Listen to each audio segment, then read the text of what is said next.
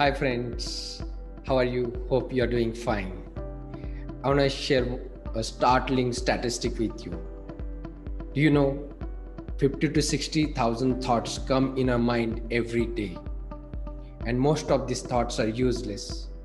This thought creates stress, anxiety, depression, hopelessness, unhappiness, and it drains our energy and decreases our work efficiency. If you want to reduce this traffic of thoughts coming in your mind, if you want to lead healthy and happy life, then you have to start doing mindful meditation. How to do mindful meditation? I'm going to teach you how to do mindful meditation in my online digital course, Mindful Meditation Blueprint, a gateway to the health and happiness.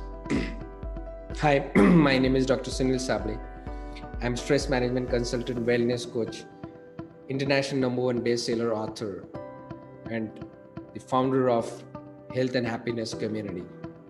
And I'm on a mission to educate 1 million people about stress, chronic disorder, how to manage it effectively so as to lead a healthy, happy, and more fulfilling life. Join me in this life transforming journey by clicking the link below.